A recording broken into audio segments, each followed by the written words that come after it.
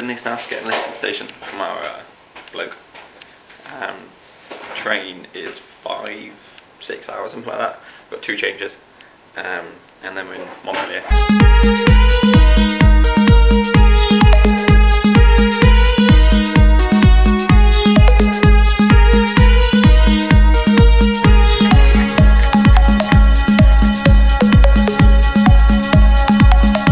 train onto another.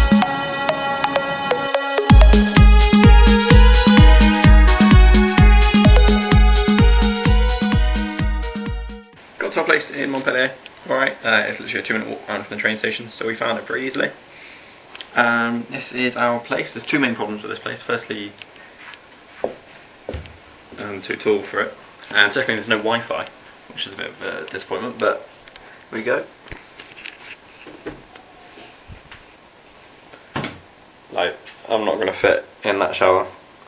I barely fit through here. This is downstairs, bedroom. Um, there's another entrance to the house through there. Right, that they they when they showed us around, they said that's the drunk entrance. Um, don't know what's out there.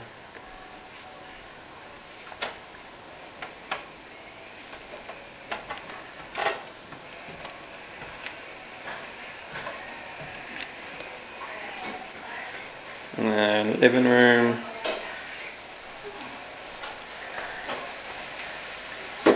kitchen. Where I was cooking burritos. Mm-hmm.